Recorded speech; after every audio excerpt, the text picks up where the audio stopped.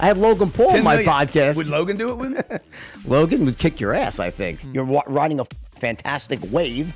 How could you not make some mistakes along the way? Think, How can you be for small government and then have the government dictate all Thank these things you. in your personal life, right? You Exactly. idiots. You got it completely wrong. Can't you just wake up and Exactly. stop? Ex- I was walking down the hallway like a dotted bull with a needle sticking out of my ass. Tell me the five steps to like to the getting to the point where someone like you would say, "I want this guy in my life. I want to help this guy."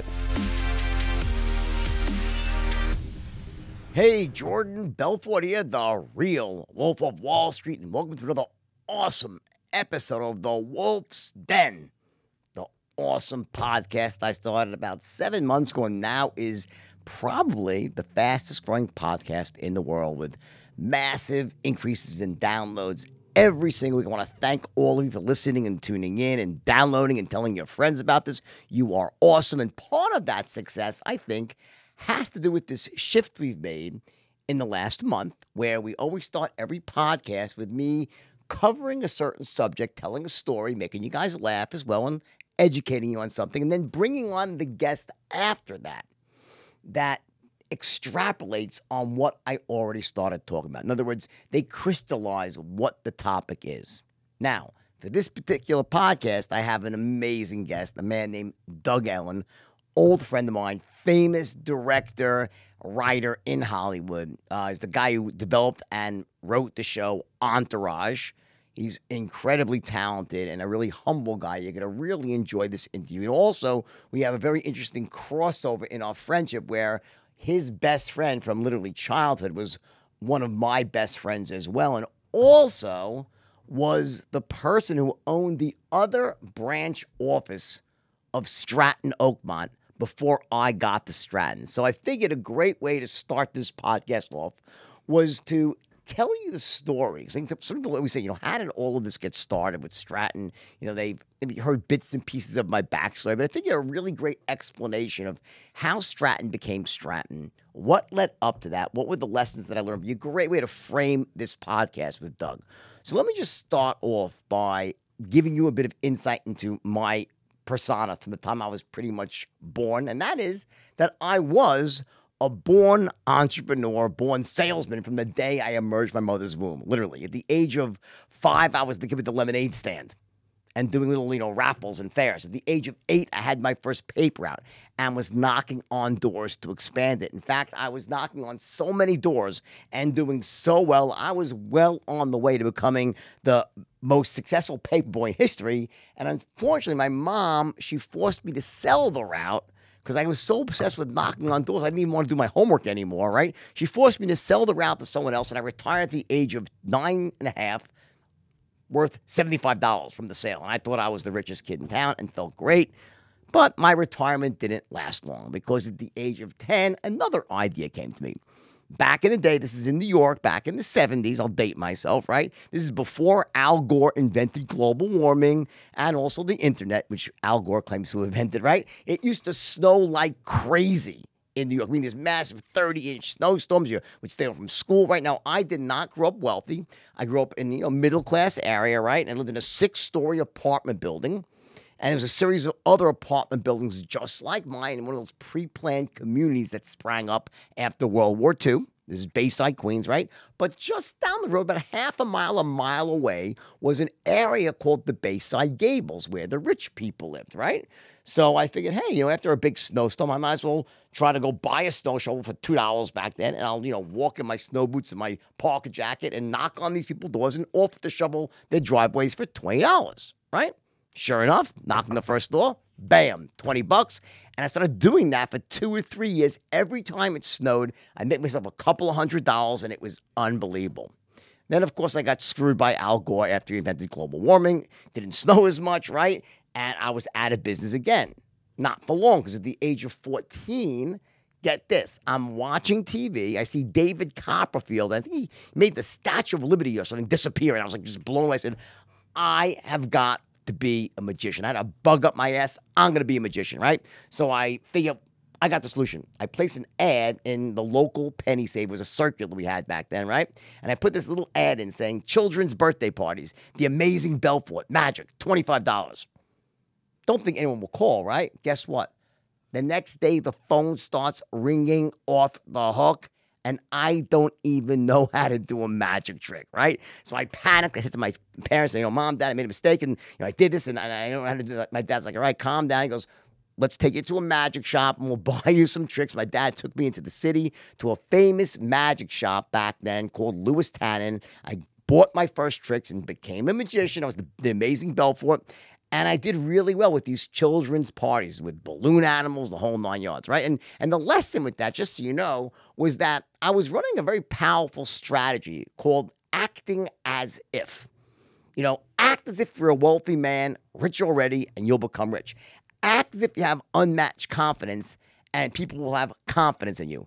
Act as if you have the answers, the answers will come to you, right? Act as if you're a magician, you'll become a magician, right? You act as if. Now, just so you understand, it wasn't the most elegant form of that because theoretically I should have basically learned a few tricks first and then you perfect them by going out and doing it. But the point was, what I didn't do, what I had figured out intuitively, that if I want to be a magician, I got to put myself out there as a magician. I can't tell you how many people I see nowadays, and I'm older and wiser and teach this stuff around the world. So many people believe that they can't go out and do something until they are an expert. But the truth is that there's no way to become an expert at something unless you actually do it. You have to practically go out and try something. So you want to just get yourself educated to a point and go out and do it. And you make your mistakes, you grow, you learn, you evolve, and bam, that's how you soar to success. But I got lucky, and when you're a kid, the consequences of you know making a mistake that are very, very low. And I learned my magic tricks, and I became the amazing Belfort. I did that for about two or three years, and I hit it big. For the first time at 16, many of you might have heard this story before. I started selling ices on Jones Beach. And what happened was it was a hot summer sunny day, and I was down by the shoreline with my friends, and I'm watching as all these people are bitching and moaning. And they have this long walk up to the concession stand, which is about maybe a half a mile, quarter mile up the road, right? And I said, hmm, I wonder what would happen if I just got myself some, you know, ice cream or ices or, you know, whatever, and load up a cooler and walked along the shore and sold them. Seemed like a good idea. Next morning, I picked up the yellow pages, found there's old yellow pages back there, right? I found these mad Greek ice cream distributors in New York. I think it was um, in Woodside, Queens, right? And I go down there at like 7 a.m. and sure enough, all the ice cream trucks are lining up before they go out. And I have my white styrofoam cooler I bought for $7. And I loaded up this cooler with a barrel of cherry Italian ices, chipwiches, fudgsicles, Milky Ways, Snickers. I put a slab of dry ice on top, the whole cooler fully loaded was $22, including the cost of the cooler. I go out to the beach, go down to the shoreline, start saying Italian ices, chipwiches, fudgels. Guess what? In one hour, I sold out the entire cooler and made a net profit of $120, and it changed my life. The year was 1978. Minimum wages was about a buck an hour back then. I just made $120 in an hour. It was more than my parents were making far more than anyone my neighbor was making. And I started getting this reputation as a kid that was really to be successful one day, a hustler, a smart guy. I figured stuff out, right? Well, obviously, what did I do? The next day, I went back with four coolers and I sold all those out. And I became what I call a four cooler guy. What is that? Well, let me give you a funny story here. That Jones Beach is so massive, and those of you in New York know this. It's, you know, on a hot summer sunny day, there's a million people there, right? So I said to my friends, hey, you know, three or four of my friends, why don't you come on? I'll show you what to do. And you go this way, you go that. We'll never run into each other, right? So they did that. But guess what? Of those four friends who I showed how to sell ices on the beach, only one of them would work all day long and sell four coolers a day and make 500 bucks in a day. The others would sell one cooler and stop what the hell is that about? Like when you think about that, wait, you would stop with one to make a hundred bucks or so and you could make four or five times that? Well, guess what? It came down to a matter of personal standards. They had lower standards than I did. I had this high standard. I demanded excellence of myself. I wanted to be rich. I had this future in my mind that I wanted to just, you know, go after. And I knew what I needed. And that my standard was to literally be the best at whatever did, make the most money. That was me. So to me, the possibility of stopping until the sun was going down and no one would buy ice cream, it was, it was an impossibility. It would not fit in with my belief systems about who I was, my standard for success. X, I want to buy myself a new car, put myself through college. But from my friend's perspective, one cooler, huh? I'll make a hundred bucks. It's more than I make all week or two working somewhere else. I could spend the rest of the day talking to girls, getting a tan. What's wrong with that? The truth is, there's no right answer or wrong answer. Notice, I'm not right and they're wrong. It's a question of A, what is your standard? And here's the trick Is it congruent with your vision for the future? Meaning, where do you see yourself in five years from now? And why does that matter to you? In other words, to me, I saw myself in the future. I wanted to be rich and successful and have a great life. So for me, the standard of one cooler would not be congruent. It would, it would, be dissonance. I want this great life, but I'm not willing to do the work for it. That's not going to end up working out well for me. I'll, I'll, have dissonance. I'll be uncomfortable. I'll have angst, right? However, there's many people when they consider their future, you know, well, you know, I want to just, you know, um, I don't need as much. I don't, um, you know, value uh, making massive sums of money as much, and they just don't look at their future the same way as I did from a money centric, success centric point of view. So to them, yeah, I could sell one cooler and it's all good. Again, there's no right or wrong answer. My guess is, though, is that if you're listening to my podcast, which is mostly centered on success and making money and you know also telling stories, but all the things about living an empowered life. Well, if you're listening to this, probably the chances are that you better be or you are a four cooler person, meaning that when you go out there, you got to be the best, you got to strive for excellence, that you have a bold vision for the future. And what sometimes happens with my audiences, whether they're live on my podcast or my trainings, right, offline or online trainings, is that sometimes people will have very high standards. They want to do the work, but they haven't taken the time to actually de- identify and develop this really robust and bold and bright and and and and you know just a future that turns them on this vision for the future that makes people jump out of bed and they lack that target that vision to aim for yet they have a high standards so they become like this achiever mentality where they work really hard they make money but they don't feel inspired the idea here is that you want to have high standards, work hard, insist success out of yourself, but you also know where you want to end up. You have a purpose driven life, a value driven life, a vision oriented life. And then you have this perfect resonance of your vision for the future, the standard that you demand on yourself. And those two together, bam, you are set. You're almost assured of success provided that you also possess the real world skills to go out and achieve success. And that's really what I'm most known for is teaching people the actual skill sets for success. Anyway, just to move forward in the story here, so I did that, put myself through college, and then I had one misstep on the road to entrepreneurial success. I believe it or not, spent one day in dental school. Why? Because my mother, from the time I was literally one year old, sitting in the high chair, she'd be spoon feeding me applesauce, and she would say, The only noble way to be wealthy, Jordan, you have to be a doctor, a dentist, a doctor. As the applesauce is going in, it's like freaking hypnosis. Doctor, dentist, right? So when I graduated from college, I was a very good student, right? If you would have asked me, What do you want to do for a living? I would have said, I want to be rich for a living. I didn't know what I wanted. I just wanted to be wealthy. I wanted a great life, right? So I said, Well, I don't know what I want to do. I, can't be a doctor because that's eight more years. I'll kill myself. I want to be rich now. So, dentist, four more years. My uncle was actually a dentist and made a fortune back in the 60s and 70s. I said, Well, I'll be a dentist. I'll still be Dr. Belpum. My mom will be happy. I'll be rich. The world will be perfect. And I applied to dental school. I get in.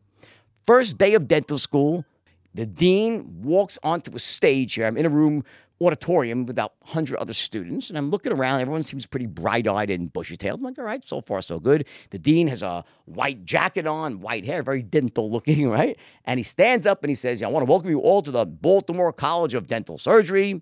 You should all be very proud to be here. Dentistry is a wonderful profession, so bravo to you. Give yourself a round of applause. And everyone says, Yay, clapping, right? Yay, it's great. I'm like, all right, so far, so good. And then the dean says, But let me say this the golden age of dentistry is over. If you're here to make a lot of money, you're probably in the wrong place. I'm like, what the fuck? I'm in the wrong place? Holy shit. I stand up and I walk out. Like, excuse me. You should have seen the looks on these other kids. And I got out and never went back. Dropped out of dental school after a day.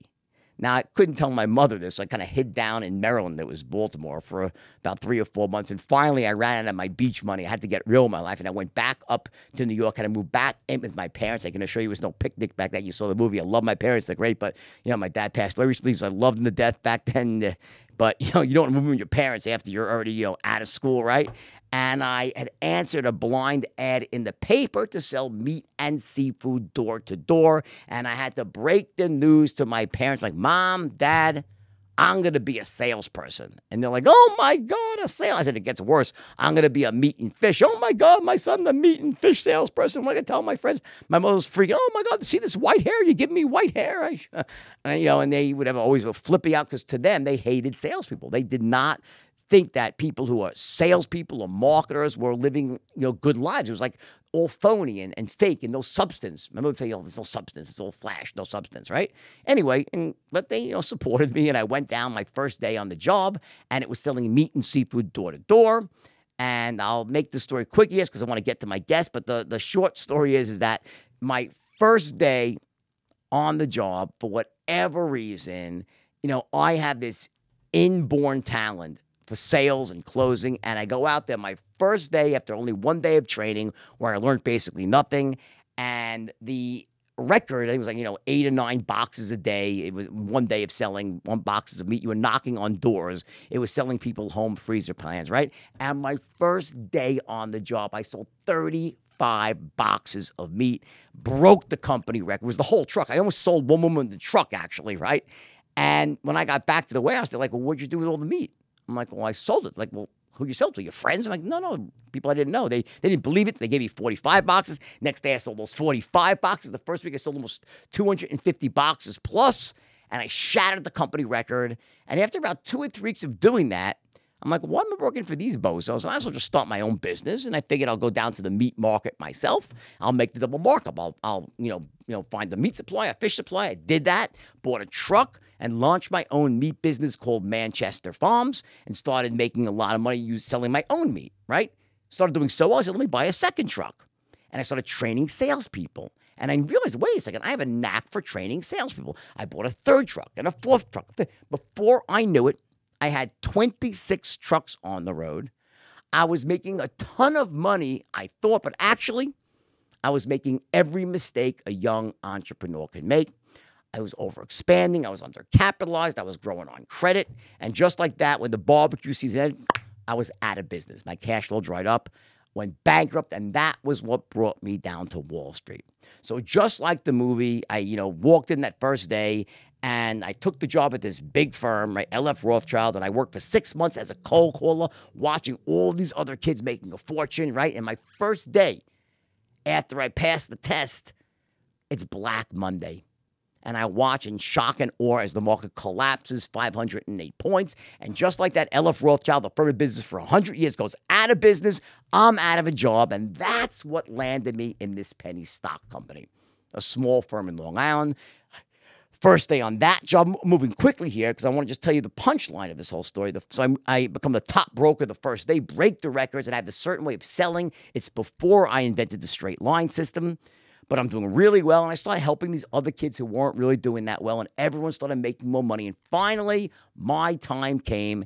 And I opened up my own firm. An opportunity came across. I opened up my own firm. It was small with 10 people and these were not the sharpest tools in the shed. They were average young kids, and they'd been conditioned for almost mediocrity at this point. They were not from wealthy families, no members of the Lucky Sperm Club, no Harvard diplomas. They were the downtrodden. They were kids that they were told by their parents they were capable of greatness, and any greatness they naturally had in them was almost beaten or conditioned out of them since the day they were born first by their parents, then by their school teachers, the media, their own friends. By the time they walked into my boardroom, they'd been conditioned to survive, not to thrive. Now, originally, I started off selling penny stocks to average moms and pops. And I taught these kids a system that had no name It was my own little sales training thing, and it worked really well for selling average moms and dads with little or no money $500 of a stock. But then I stumbled upon an untapped niche in the retail stock market in the United States, and that was selling five to ten dollar stocks in the to the richest 1% of Americans that were business owners were making millions of dollars, that were trading millions of dollars in the market each, to call those people and sell them $5 stocks. And when I tested the idea myself, the results were so amazing, both with me and my junior partner, Danny, that Jonah Hill character, that I decided to reinvent the firm. In other words, the 12 kids that worked for me at the time, they were calling moms and pops, selling them penny stocks. It was a very easy sale. $500, it was like a lotto ticket, a dollar in a dream, right? Uh, buying a lottery ticket, right? But the amount of money to be made by selling these bigger stocks to richer people, to the richest 1%, was so astounding, the two couldn't compete. I said to myself, all I got to do is train these 12 kids how to do what I'm doing and what Danny's doing, and I will be the richest 24 year old in the country. And the rest, as they say, will be history. Well, unfortunately, as they also say, easier said than done. As it turned out, training a bunch of barely post adolescent nincompoops to call the richest, toughest, meanest, most sophisticated investors out there rich businessmen who are making decisions every day and to call those people and sell them on a stock, like on to invest, you know, quarter million bucks in a stock they never heard of, from a they never heard of, from a firm they never heard of, it was impossible. And the system broke down. Knows I could do it. I was a natural born closer. Danny could do it. I had taught Danny to sell, but Danny was also a natural born closer. These kids could not do it. And after a month of trying every training tactic, already, again, had a system, wasn't a straight line system that I teach now, Everything broke down. They couldn't do it. I tried everything. I read every book, listened to tapes, went to every seminar. No matter what I tried, couldn't get into close. And it all came down to this one special meeting I gave where if I didn't somehow come up with a solution, these guys would all quit. Now, at the time, here's the where it intersects with Doug Ellin. At the time, I, I had a firm called Stratton Oakmont right? It was this small 10 person firm, and we were selling penny stocks to average moms and pops no big deal, making a little bit of money, and that was that. And when I was doing that, there was another satellite because I had a, it was a franchise I owned. It was one of the franchisee was this guy named Barry Gesser, and Barry owned another Stratton office, about ten to twelve people too. And Barry was doing well as well. We became friends and we did some talking back and forth. And Barry actually knew more about the market than I did back then. And Barry gave me some education in it, right? And then this one day, when I decide to change everything. So Barry's firm is like 20 miles away, his office, right? And I decide to reinvent the firm and I'm selling, you know, trying to sell $5 stocks now to the richest 1% in the world, American business owners, right? It's not working, it's not working, it's not working. Then finally, I give this one special meeting and I come up with an entirely new way of training salesmen that came to be known as the straight line system. And the straight line system, the reason it was called the straight lines, the magic moment I had is when I looked at my 12 guys who had not closed an account in a month now of calling rich people. I said, guys, don't you get it? This is so easy. Every sale's the same. And they're like, what? I'm like, watch. It's a straight line. And as a way of illustrating the way a sale was supposed to unfold, I drew the straight line across the board. And what happened is it opened up this way of thinking for me and it allowed me to teach these 12 kids how to close the way a world class closer like me naturally would close. I was able to essentially transfer this strategy that I was using automatically that I'd been able to teach to Danny because he was also a natural closer. But now, with the straight line system, I could teach it to anyone and instantly turn any human being, regardless of their age, race, creed, color, socioeconomic background, educational status, level of natural sales ability, anybody. I could turn them into a world class closer. And that was the breakthrough. This happened at about 11 o'clock at night. It was a nighttime training. Next morning, they came back. And for the first time, after not opening up account for a month, they began using the straight line system.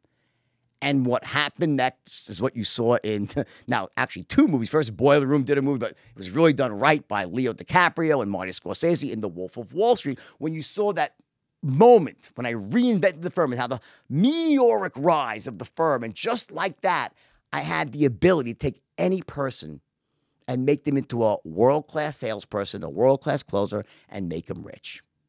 Well, the funny thing is, about 10 days later, Barry walks into my office and it's like, you're like, what? It was like, you're like, what happened? There's like 50 people now. Everyone's making 20, 30,000 a day. And Barry looks at me. He's like, uh, uh, here. And he hands me the keys to his office. He goes, I don't know what's going to happen. He goes, but this is not going to be normal. You're, you're about to go on a ride. I, I just, I don't deserve to be put. I don't want. I just I have to, I'm just going to watch and be your friend. And I wrote Barry a check for like $300,000. And Barry Rudolph became one of the most successful, largest short sellers in the world, betting that stocks would go down, right? And he ultimately passed away early. I'll tell you the story. Doug comes on, right?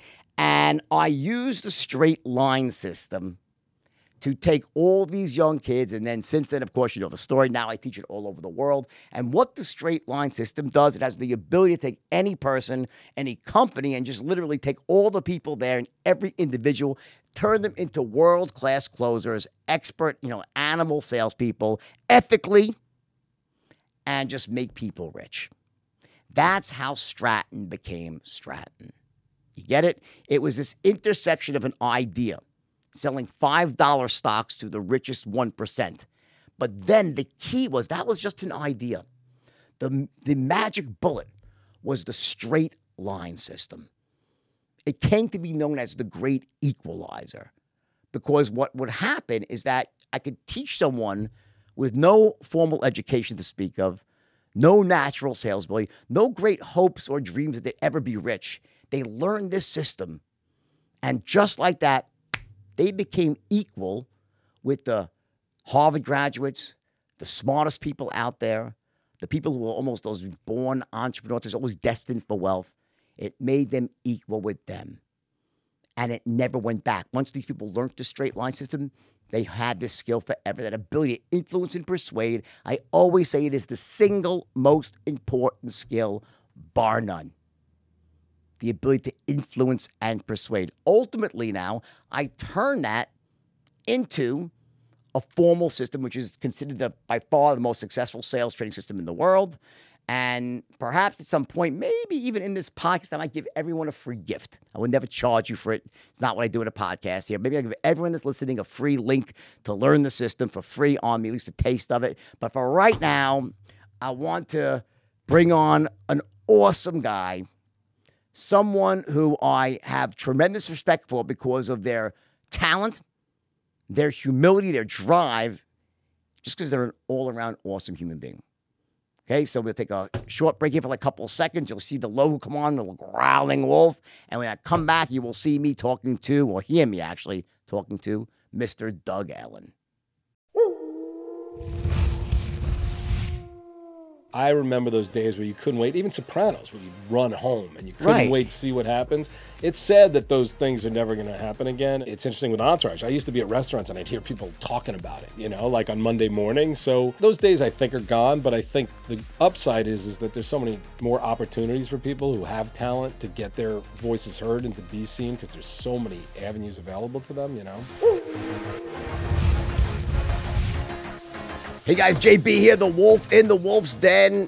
This is gonna be one of my favorite podcasts of all time. Someone I've wanted to get on since the day I launched this podcast. It's a friend of mine, very, very well respected director, showrunner, creator of movies in Hollywood, one of the most well liked people in Hollywood and most well connected people in Hollywood. But actually, just a great guy and old friend, Doug Ellin. What's up, my friend? What's up? How so, some like Doug's one of those people you think, who? Okay, let me.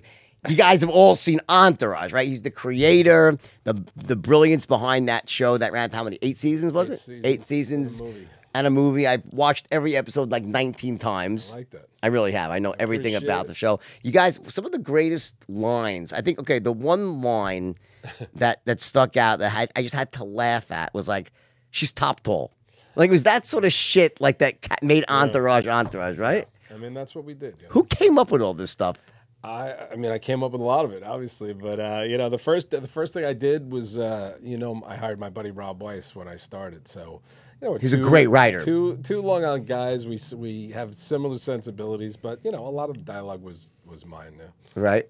And what was so was it was this about was it based on Wahlberg? Well, very loose, just that It the, i- the idea of a Mark, Wahlberg, yeah. right? I mean, it it it came to me from his manager and we started like looking for a mark, which we realized, as you see in the movie business, is so hard to find. There's not Right. a lot of marks out there.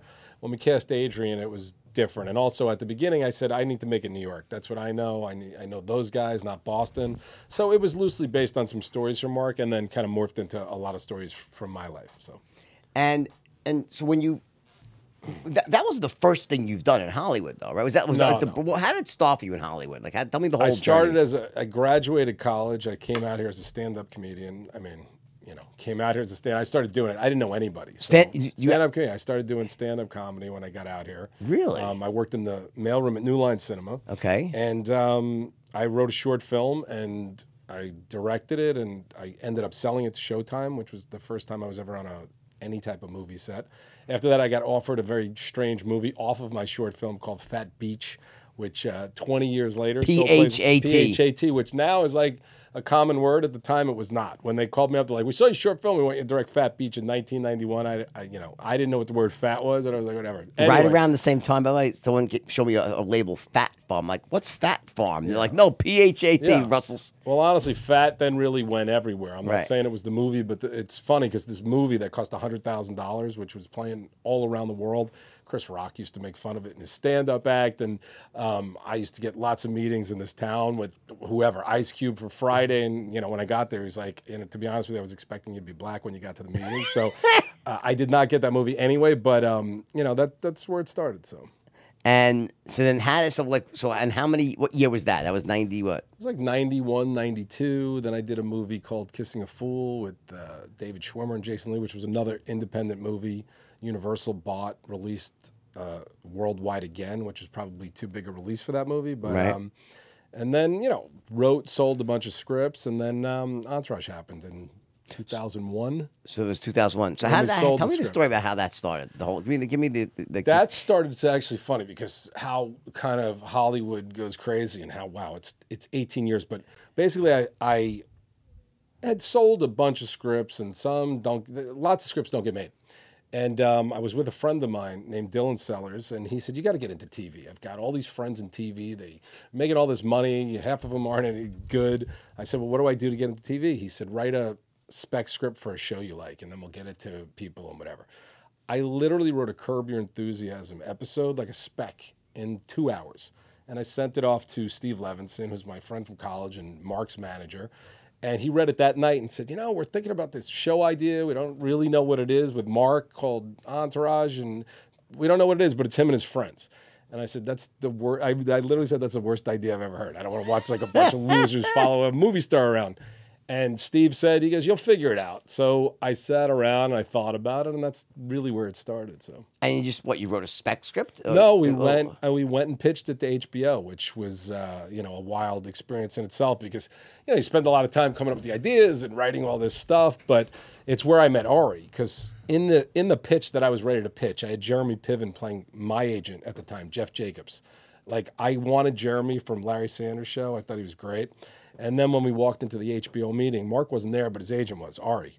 And I met Ari, and Ari just takes over the room. I'm like, this guy's the character. Like, we need, you know, this. So when we walked out of that meeting, which we sold it, which again, selling a script is one thing, getting a show on the air is another, but we sold the script in the room without me even talking. Ari said, it's Mark and his friends. This guy's going to write it. If it sucks, we're going to fire him and someone else will rewrite it. and when I walked out, I said, this guy's got to be like a main character in the show. So I thought about Piven playing him from that point on. So, Wow. Um, and then, you know, it was two years of, of That's Ari drafts. Emanuel. So it's a direct, so the Ari carries Ari Emanuel. hundred percent. Yeah, I mean, you know, like I mean, and and as Ari used to say, Ari's like he's nothing compared to me. You know, there was one time when I was with Ari, and he's like, "You don't even know how to write me," and we're in a place. He starts pretending to have a fight with a client on the phone. Um, he's kind of joking around. We're in the Palm before a basketball g- Lakers game. I mean, the place is fucking packed, and Ari is yelling at this guy but being funny, putting a show on. And then the guy says something that really pisses Ari off. And the next thing I know, he's literally yelling and. The entire restaurant is looking at. It. And I remember the line. He was like, "I don't give a shit if you're six years old, six year olds in the car. Take me off speakerphone." But um, he was uh, he he's a, an amazing character, you know. And he he sold the show though, you know. Wow. So So you sold the show in the room, right? And then so that, wa- and then how long did it take till it actually 20 months and 500 drafts. I mean, I kept writing different versions. They didn't like this, they didn't like that, and finally one day they picked it up. So. Wow. Yeah. How'd you come up with so so I think there's like you know it's like it happens very rarely when there's just the chemistry between all the players is just right. You're sort of like on Friends, Yeah. Like because there's an ensemble cast, Yeah. right? And so so how'd you choose? Like it was Kevin Connolly, right? It was, So- Ke- yeah, I mean, Who is a friend of mine. I love Kevin's. He's Yeah, awesome. I mean, we it was a long casting process because we weren't going to settle. Unlike like a network show like Friends, sometimes you have to get lucky because you have such a quick window and you have to cast it and go. So God bless them, it worked out for them. We took our time. We were not starting to shoot until we found everybody that we really liked. And uh, Kevin Connolly was one of the more interesting ones because I could not cast that part. And I wrote in the script. It was like a Jack Russell Terrier who was kind of like a like a Joe Pesci type, like little guy who's ready to fight anybody. And I didn't know Kevin, but I kept getting calls from friends who were like, I looked at your script. Kevin Connolly's the guy. I'm like, I don't know who he is. And they're like, called his agent and they said he's not acting anymore. So I kept trying to find him. They're like, he's not acting, he's just directing, da da da da. And uh, I called Mark. I said, you know, you got to call this guy. So Mark called Kevin. Set up a meeting for Kevin and I to have dinner, and we had dinner. And basically, Kevin's you know one of my best friends now. But Right, Kevin, he's a- he's a Kevin great- essentially at the dinner was like, he was on the podcast like last week. I know. I, love He's- he's Kevin. the best. But Kevin was essentially like at the dinner. I'm not. I'm only going to audition for this if you kind of guarantee that I'm going to get it. You know. And I'm like, listen, I'm not even in charge to be honest. Like I'm going to tell them who I want, but they're going to pick it at the end of the day. But the second I met Kevin, which was similar with Dillon. And similar with Jerry, it was like the second I met them, I was like, these are the guys, you know. So they're like the guys I grew up with, and that's what I was looking for. So Okay, so Kevin. So about the Ke- by he was unbelievable Yeah, too. yeah. Kevin Dillon. uh, Dillon's genius. I mean, he's like I mean, Dylan, I was out with Dillon's uh, ex girlfriend the night before. She's like, Kevin Dillon is my ex boyfriend. He's coming in to read for you tomorrow. And I was like, huh. He said one line, and I was like, this guy's going to win an Emmy. I know it, you know. And uh, he didn't win, but he got nominated. So unreal. Yeah. And what about and the last one was um, Turtles? Uh, Jerry, Yeah. Jerry, you know, which is also interesting because Jerry and Kevin Dillon are separated by, I forget, nine, 11 years. They were supposed to be playing like they were in high school together. So that was the big panic that that was not going to make any sense to people. And I tried everything to make Jerry look older, but the truth is nobody ever said a word about Never it. It even thought it- never even came occurred up, to me. You know, like that he was, he would have been 30 and Jerry 20. So interesting. Yeah. And how about Adrian Grenier? So Adrian was a client of Steve's, and um, you know, Steve was Steve's pretty great and has an eye, and he kind of. I was looking for Mark. I was looking for like guys that grow up with these tough guys, and you know, I couldn't find him.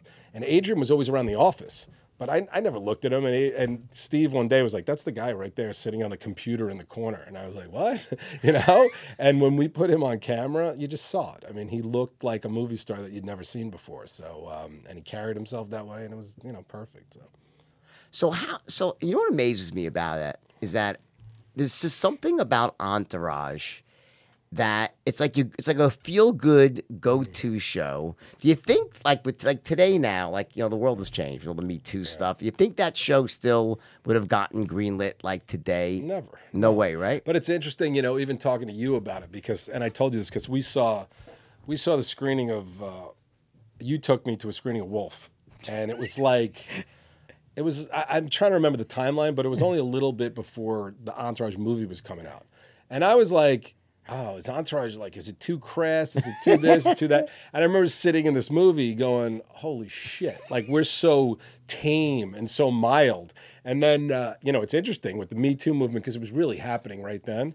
And the critics just trashed the Entourage movie. And the truth is, like, you can say whatever you want about it, but if you like the show, you like the movie. Oh, it was I- I- basically the same thing. It was It the was same an thing. But with Wolf of Wall Street, which I'm not comparing myself to Marty, and They loved it. but I mean, the truth is, it's the ultimate glorification of like guys being animals. Where where Entourage, I always was really highly trying my best to not make them animals, you know. And then I see Wolf of Wall Street, I'm like, oh my god! And, now you look at it, it's like, I mean, I sit at dinner with you, and and I see how guys react to you. They're like, I just want to party with you, man. I just want to hang out, whatever. So, it, it, it's an interesting way the world kind of twists and looks at it, but um, I guess mine was because it was historical Well, because it's true, and at the end of the day, they get arrested. Nobody gets arrested Exa- in uh, right, exactly. Gets Paid arrested. the price yeah. for it. I'm Yeah, you were playing guy. tennis at the I'm end a of the different guy today, right? So now, listen, I want, I want to just, I, I want to go back to Entourage, but we Yeah. can't go much further without talking about our common friend who passed away, Yeah, right? So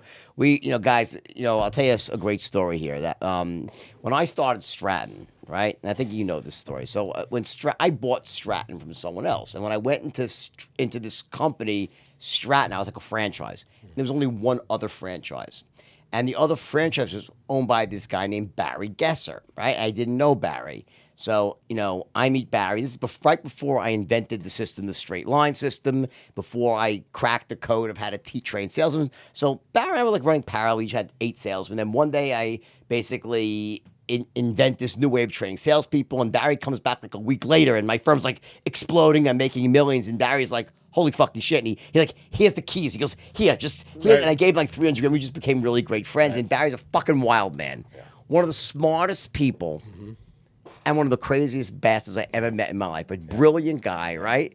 And then basically, you know, when I got out of jail, Barry lent me. He just he fucking gave me like six hundred thousand dollars. He's that kind of guy. He goes, just dude, here, start again, and I paid him back, of course, right? But he was that sort of guy, right? Well, I mean, Barry, I mean, the stories with Barry, I mean, I'll, I'll get back to how he relates to a couple of things I did, but you were just mentioning lending money. I called Barry when I separated from my wife and I said, I, I didn't know anything. Like, I was with her for a long time. She handled all my money. I was like, Barry, I'm in trouble. I need some money. Like, I don't know what I do now. I'm like, you know, on my own. He's like, what do you need? I'm like, I don't know, two or three. He's like, come over. And I'm He's like, safe, uh, right? he opens his safe. He starts giving me two hundred thousand dollars. I'm like, what are you doing? He's like, you said you needed two or three. I was like, I need two, three thousand dollars. I got credit cards. I'm not like destitute. but Barry was um, the only thing I said in the room for the entourage pitch because Ari really did sell most of it. But I sold it on a story of Barry, which was when he was living at Trump Tower in 1988 and making all this money. And his upstairs neighbor called him up and said, uh, Barry, you got to start investing your money in something. And he's like, I don't, what do I invest in? He's like, how about art? He's like, I don't know anything about it. And he said, come up to my, uh, uh, you know, my apartment. So he comes, do you know this? Comes, goes up to his apartment. A Colombian billionaire lives in the upstairs apartment. Shows him all this work. He says, what do you like? And Barry like looks at this Chagall painting. He's like, I like that one. He's like, "S- I think it was 600 grand in like 88. Right. Barry's like, all right, I'll, I'll take it. Goes down to his safe just like this, gets $600,000 out, takes it, takes the thing off the wall himself, brings it downstairs and like hangs it on the wall himself. And then he brings over a bunch of us, which really was like Wolf, was like a bunch of Long Island Goombas who like whatever. And I think he had Who like the a- fuck is Chagall? you know, as, as I remember, he had like a Lawrence Taylor jersey hanging on the wall, and he had the like one of the first big TV screens, which are like 500 pounds. And we're all sitting there, and like Barry is just waiting for someone to notice his Chagall painting on the wall, and these guys wouldn't know it from a whole fucking hole in the wall. So he's like, "Guys, you see my painting?" And everyone's like, "Yeah, that looks great." He's like, "What do you think I paid for that?" And uh, 50 everyone's like, 10 yeah, grand, no, I mean, grand." seriously, everyone's like, I don't know. What- What'd you pay for it? Everyone was more interested in the Lawrence Taylor jersey. And it kept going till he's like, I mean, guess, guess. And everyone's like, five grand, 10 grand. He's like, this is one of one. This is the only painting on the entire planet. So it finally came back to someone goes, if you paid a dollar over 20 grand, you're a fucking moron. So he calls the guy back up. He's like, listen, I, I can't live with this. I don't know art. I don't want it. And the guy's like, bring it back. Takes it off the wall, brings it back, gives him his money back. Now the Now crazy worth- thing, what's it worth now? 30 or 40 million bucks. Right. probably. I, mean, I, got yeah. another, I got another Barry story just like so. Barry Barry's like 110 pounds dripping wet, Yeah. but he literally started a fight with a fucking 300 pound fucking karate expert and almost wins. He's that fucking crazy, right? You just He threatened to kill my trainer because he was too sore after a workout. And my trainer is a tough guy, but he called me up. He's like, "This guy is crazy. He's threatening to kill me." He's like, I'm like, But Barry goes out and he buys a, a Richard Mille watch for like it's almost an identical story. Yeah. He, and he for, like four hundred grand, right? And like I, I think I saw him the day he bought the watch. He goes, check this fucking watch out. It's Richard Mille, and I'm like, oh, it's really nice, Barry. And like, and I'm like, wow. He goes, yeah. Check. I look at him, like, beautiful. He goes, yeah, it's four hundred fucking grand. Right? About five days later, I, I come back and I say, hey. Oh, where's the watch? That fucking, you know, I wore that fucking watch out. Not one person stopped me and said, that's a nice fucking watch. I, I brought the fuck, fuck you for selling me this watch. How could you sell me uh, a freaking watch? No one, no one even noticed. he is so funny. I mean, honestly, the, the day he died, I, I had at least because everybody loved Barry, as crazy as he was. Yeah, so you- even the people that he had to love him. Even the people he threatened, so they were all with me the day he died. Like I had a designer I introduced him to for his house who he threatened to kill, who like they all ended up loving him because Right. he was No, that kind of, you know, but the most loyal, generous friend. If you were like in a bind, this is the guy that you would call Yeah. and wouldn't ask a freaking questions. He died. What happened? Just, you don't know. One day he just just dropped dead in his early fifties, right? An aneurysm, who knows what, Yeah. whatever it was, one of those freak And things. when I was growing up, his, his father died when we were very young. His father was the first person I ever knew that died. I was like a little kid, and his father died, I think, at 38 maybe. So, um, you know, he, he may have had some heart condition or something. But Barry was one of these people, guys. You, you, you had this guy was. Ex, it's almost hard to explain this person existed. Like Yeah. he was a short seller by, for a living. That means he'd bet on stocks going down.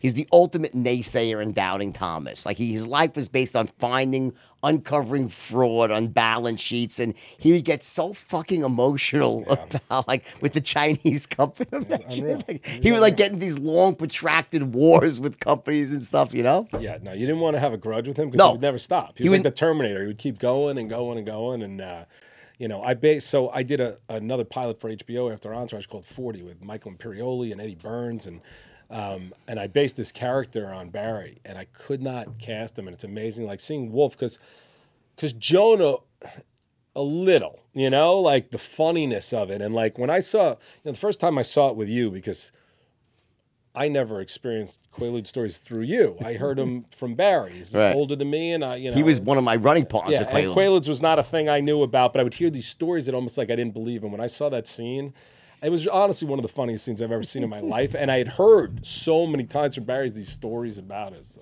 Barry and I, we would go up in, in his Trump Tower apartment. We would like it would be like twelve o'clock, and he would take four ludes, I'd take four ludes, and we just walk around like falling down in the street and shit. And somehow we managed to somehow make it back upstairs again, like and live to tell about it. He I mean, just, I mean, the stories with him because it's like even when I was child, you know, we grew up very middle class neighborhood, and Barry, kind of like Goodfellas, he started making money like when nobody had any money, and he's driving around a convertible Mercedes, and everybody's like, "Who the fuck is this driving around the town?"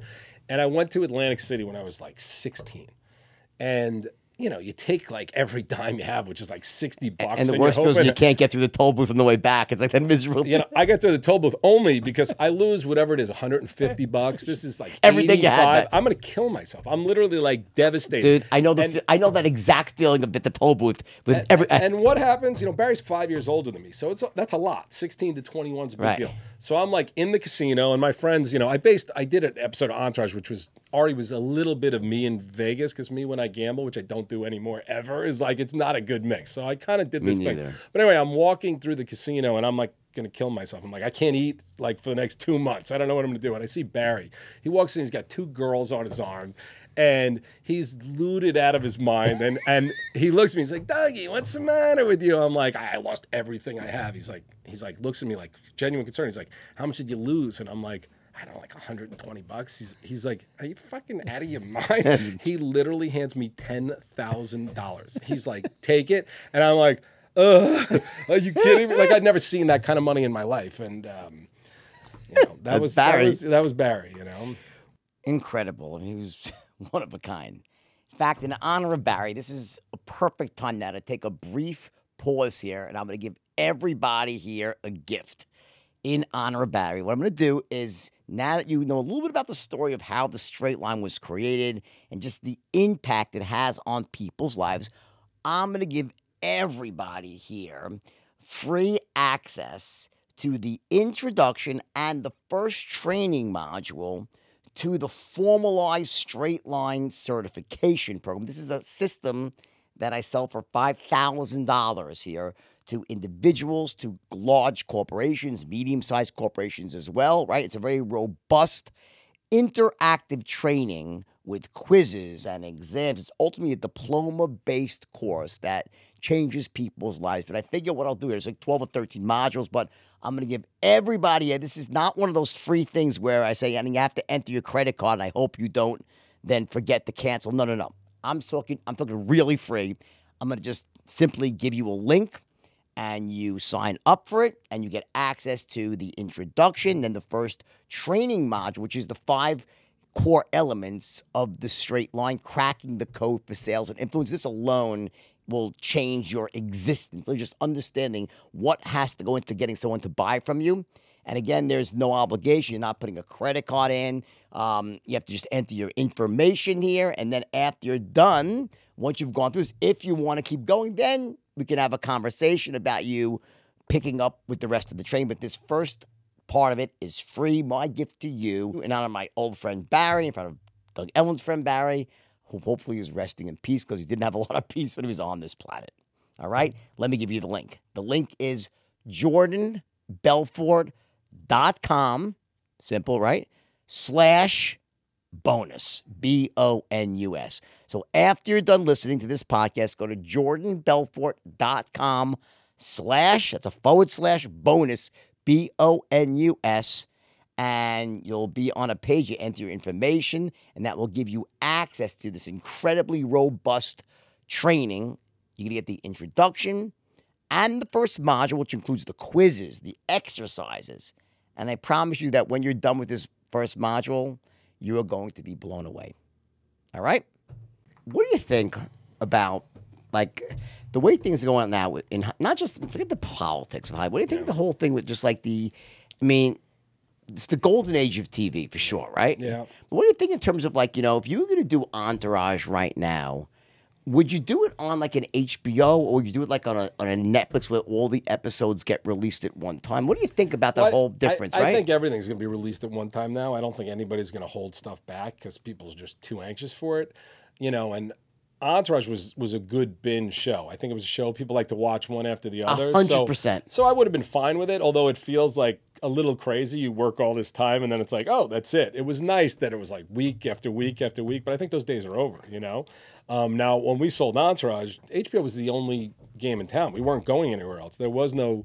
Um, obviously, there was no Netflix. There was no this, but there really wasn't any other cable show. So, and it was not a network show.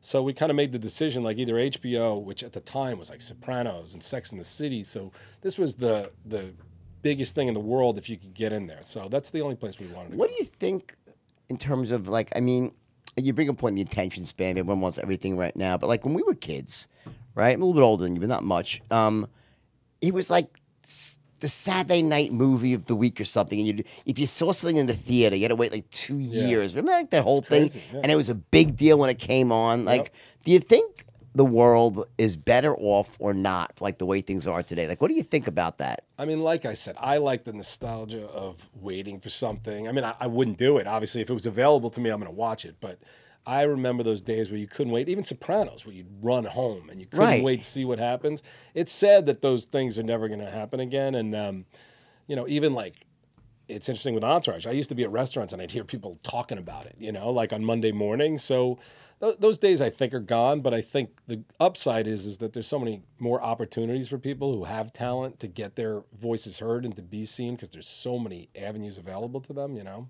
What do you think the future is for um, for, for like these shows? You think it's all on the streaming and instant release? I mean, HBO still does. I think they're doing like they release maybe one or they, they do a couple to start. Or how are they doing it? I'm not sure how they're doing it. I think everybody will be like all at once soon. If not now, I think that's the way it's going to be. You know, I'd be surprised if anyone's able to hold it back like that. You know, like.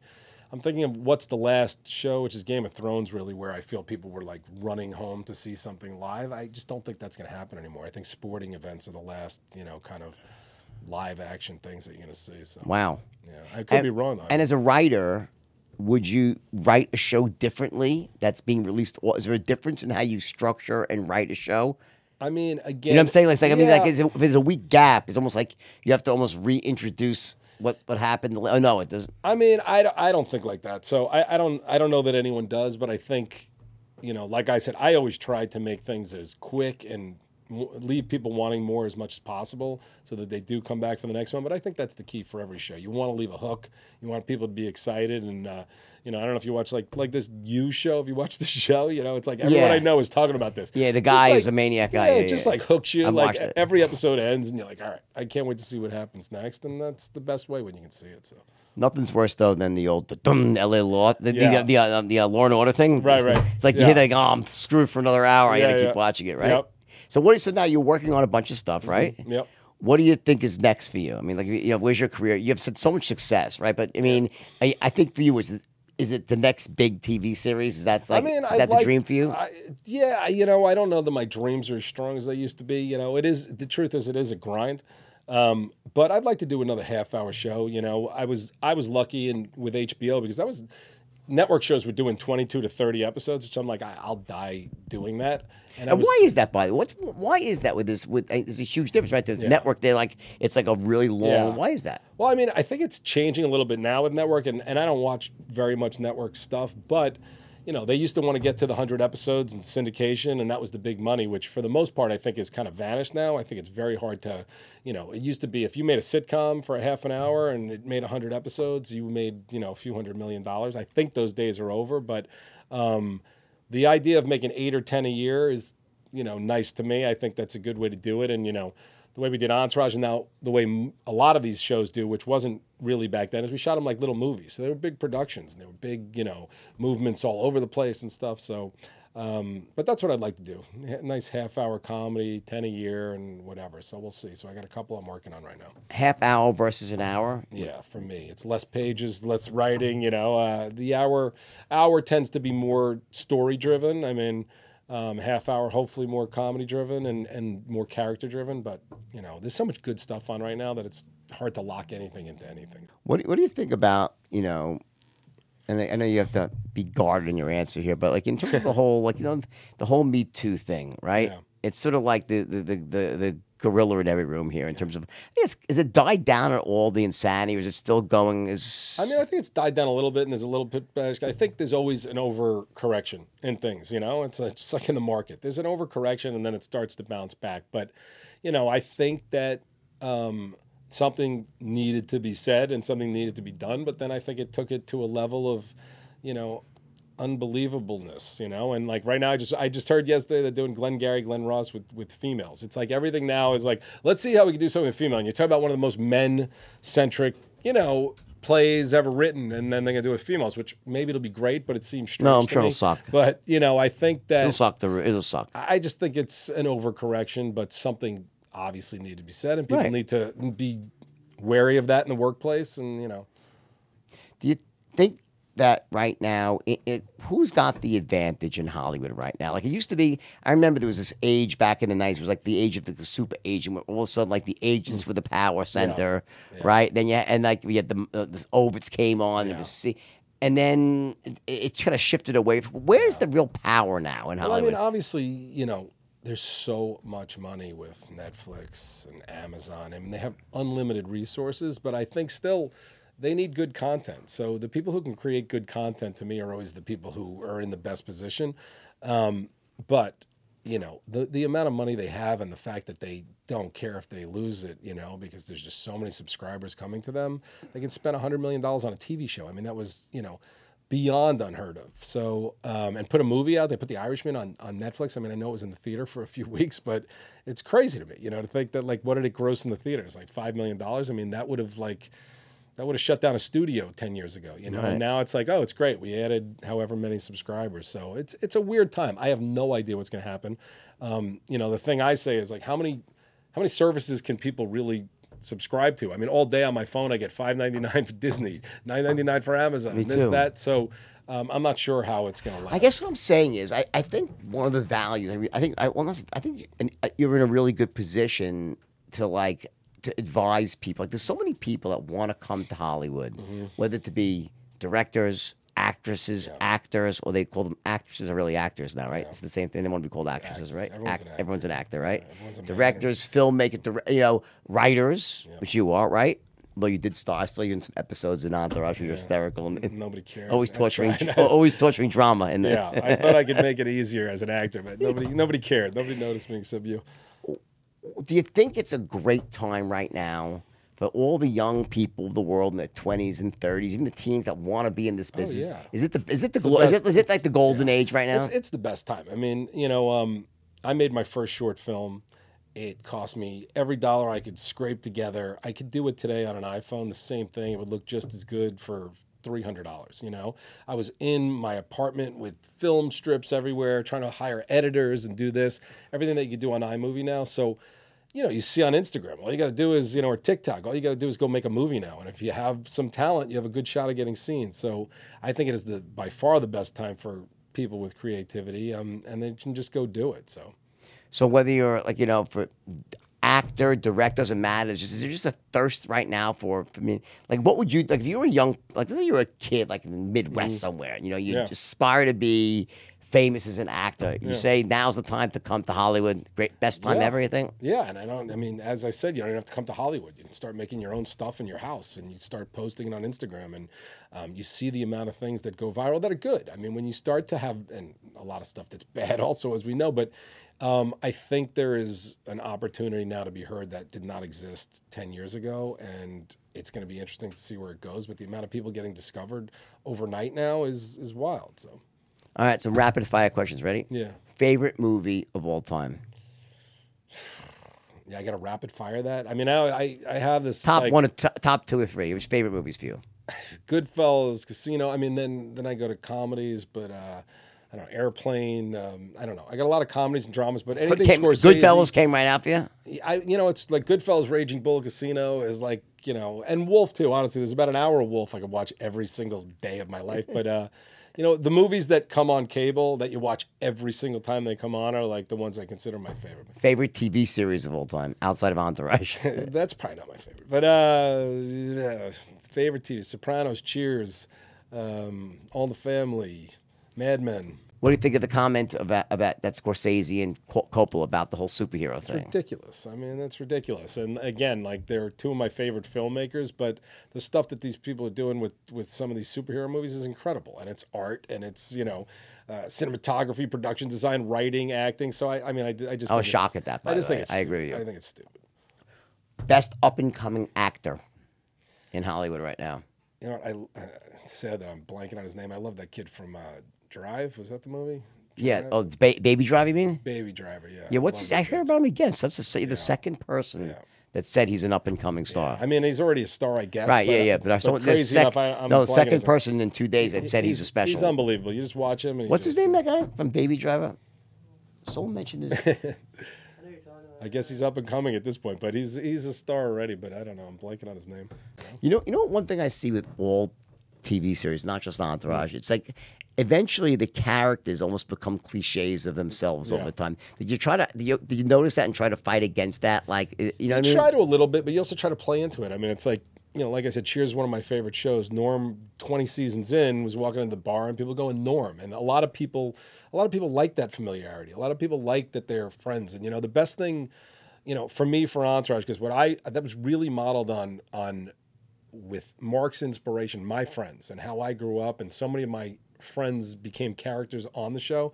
But um, when people would come up to me and say, like LeBron James, we went to dinner with LeBron James. He goes, "This is my E, this is my drama, and this is my turtle," and that's what I was going for, you know. Right. So Oh, for sure. um, Yeah, yeah, yeah. So you know, whatever it was, like you know, criticism, hate. I don't, I don't, I don't really give a shit. You know, like I felt good about the show, and I felt like we did what we wanted to do. And at the end of the day, really, what it was supposed to be was about friendship and loyalty, and taking these fish out of water guys like we grew up and putting them in this fantasy world of Hollywood, and that's you know that's what we did. So I can't tell you how many times Vince would do something, and I'd say, "That's exactly what I would do." yeah, I mean, Like buying cars for his friends, doing the, you know, just- and Vince had a lot of a lot of Barry in him. Yeah, you know? although like, like you said, Connolly. I mean, Connolly. We go to Barry's house. He's never met Barry in his life, and Connolly like sees his Bentley sitting in the driveway. I him. Here you go. And Connolly goes, "Would I look like a jerk off in a Bentley?" And Barry goes, "I don't know. Take it. See how you feel." And he's like, "What do you mean?" I mean, they never met. So Kevin left with with Barry's Bentley and had it for three months. You know, he ultimately decided he, he didn't want to drive a Bentley, but uh, Barry's like, "Just take it." And Barry used to do that all shit all the time, and those were stuff that inspired me because Barry, and again, unfortunately, he stole some of his shit, whatever. But as a friend, he was the most loyal, generous human being, you know, of any anybody I was ever. He really with, was. so. So you know we're making The Wolf of Wall Street into a TV series mm-hmm. Yep. with Terry Winter. Yeah. I mean, What do you think of Terry? I mean, what I said is, you gave me the book. I mean, again, I'm not saying I would have ever made this movie like Marty and Terry did. You gave me the book way before, and I was like, Jordan, you're a fucking asshole. People are gonna hate your guts. and whether it was Terry, Marty, Leo discovered that this was the comedy that it became. I mean, I love Terry, by the way. I try to get him to do a show idea that I had. I think he's a genius. But I'm always like, who came up with that this is a comedy? Like, who thought that this is going to be one of the funniest movies of all time? well, know? I wrote it to be, when I wrote the book, it was intended yeah. To be that way. It was this black comedy. Yeah. And like when I first met Terry, he just, like, we met and he yeah. just got that. Like, he was like, he's like, dude, this is just he saw it, and, and like, and I think what amazed me about Terry is his lack of ego. Yeah. Like he had no. He goes, dude, I love the way you write. I'm gonna take your book. I'm not gonna rewrite. It. I'm gonna formulaically like rip my book apart and put it into this movie, I was just so shocked because it's really hard. To, yeah, which I can't so do what you guys. I wrote yeah. books. I can't do what you do. It's very difficult to make every word. You have so few words. I tried to write a script once, and I was like on page five, and like I as I I was still in like nothing the first happened. nothing happened. yeah. Right? I was like, what the fuck? Wait, how can it be only hundred pages? It'll be seven hundred pages. My script. It's a skill, and Terry's as good as anybody. Marty too, obviously, uh, because he writes, and I don't know who wrote which. Terry this, Terry wrote. so what happened was I wrote the book. Yeah. Terry adopted it, and literally the first draft he wrote was fucking the movie. It was so close. That was polished many times. I polished a lot of the boardroom lingo and the sales scenes like that, but he wrote the well, fring. For me, that's it's so amazing to me because you know, growing up with Barry and knowing these stories, which I used to laugh at, I just when reading the book, I'm like. People are gonna hate everything about these people, and then I see the movie and I'm like, oh my god, this is like a fucking brilliant comedy. I'm such a moron, you know. and again, not that I was getting the movie, but you know, uh, well, hopefully you can work on the TV series, yeah, at least some episodes with Terry, because we do. Terry's, you know, he's gonna Terry's start amazing. soon. Terry's yeah. amazing though. So. He's the best. Yeah. So what's next for you? you, anything you want to talk about? No, nothing specific. I'm going out with a pitch in the next month of a show I want to do, and uh, we'll see. You know, you take it to market, see what people think of it, and go from there. Your personal life. So you got divorced. You have the awesome. I have a great girlfriend right there. Yeah, yep. Sarah Sanderson, comic. She's great, right? Yeah, she's great. She's great. There's nothing better. When I when I met you and I met, met you, your girlfriend, I was like, you're one lucky dude. You've got you know when you get the right woman in your life, right? Yeah the wrong woman is just like such a disaster. And because I've never seen no, I know because I've never seen you this as happy and no. content as I've seen. Yeah, you know, but then and I've known you for a while, but you seem like really just like you're on top now because you got the right person Everything in your life. Feels good. Everything feels good. So awesome. Yeah. All right. Well, one thing you have to promise me at least at least work a little bit on the Wolf TV series. I would, I would love to. I, you know, I, you know, because you know it's Terry's yeah. project, but I know he loves you, and I just think you'd be awesome too. So, great. all right, guys, listen, Doug Ellin, the man, the myth, the legend. Thank you for coming on. You're the Thanks best. for having me. Appreciate it. All right. Take all care, right. buddy. Yep. Bye bye.